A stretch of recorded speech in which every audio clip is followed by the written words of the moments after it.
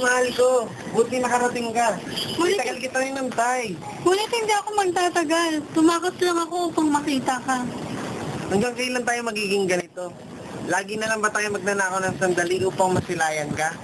Alam ko, malayo ang agwat ng edad natin. Pero pinapangako ko sa'yo, mahal ko, mamahalin kita hanggang sa dulo ng hininga ko. Ako din, mahal ko. Hindi ko kakayanin kung wala ka sa buhay ko. Nakapundar na ako ng bahay at bakuran para sa'yo at para na rin sa magiging pamilya natin. Maayos na rin ang pamilya ko. Kaya naisipan ko, bumuo na lang din ng sariling pamilya. Ngunit kalabisan na ang hinihiling ng magulang mo. Hindi ko kaya ang hinihinging dote ng magulang mo. Mahal kita, handa akong gawin lahat. Pero ngunit, labis na ang hinihingi ng magulang mo. Batid ko ang iyong pagduro sa mahal ko. Kung kaya, ita itanan mo ko.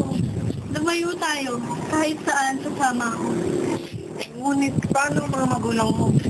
Alam kong balang araw mapapatawad din nila tayo. Ang mahalaga ngayon, tayo.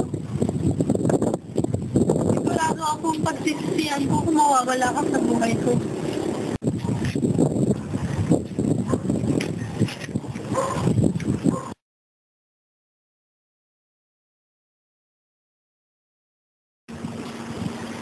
Sana tanggap tayo ng magulang mo, no?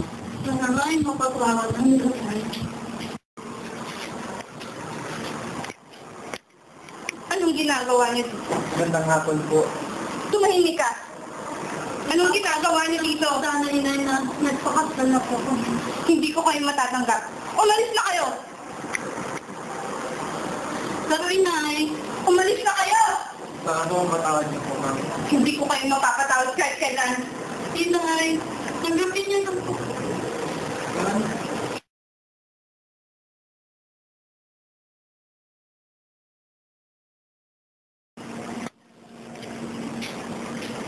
Magandang hapon po.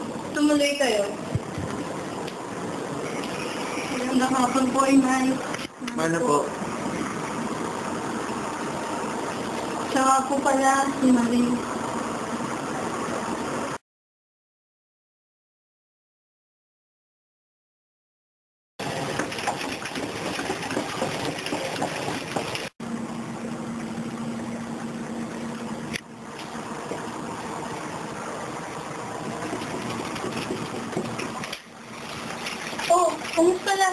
Sa mga pael? Mabuti naman. Asan yung mga bata? Natutulog na, kakatapos lang nila kumain. Siya nga pala, muna ako kay Iska ng isang salot ng bigas. Ano? Bakit ka nangutang? Eh, gutom na ang mga bata.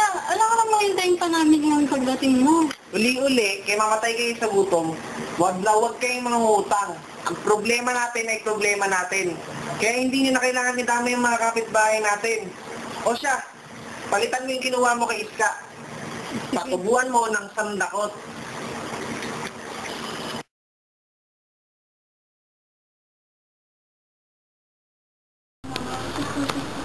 Ama, nais ko po sanang ipaalam sa inyo na mag-aasawa na po ako. Wala akong pakialam kung sinong Judas o Odessa ang mapapangasawa nyo. May mga isip na kayo. Isang bagay lang. Pag-aasawa nyo, magsasarili kayo. At wag na wag kayong mangungutang sa akin. O hihingi ng pangkasal sa akin. Naiintindihan ko po, Ama.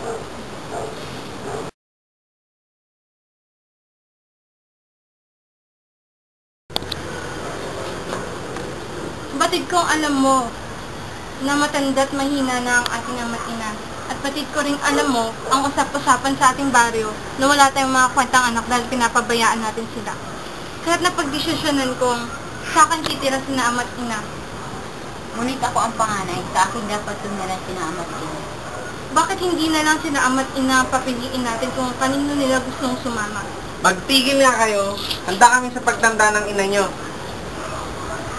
Ngunit ama, kung ayaw mo sumama sa amin, ipag-iwa, ipag-iba na lang natin tong bahay na pawit at ipapagawa namin kayo ng bago. Tama na tong bahay sa amin. Tama na sa taong pagtulog ng di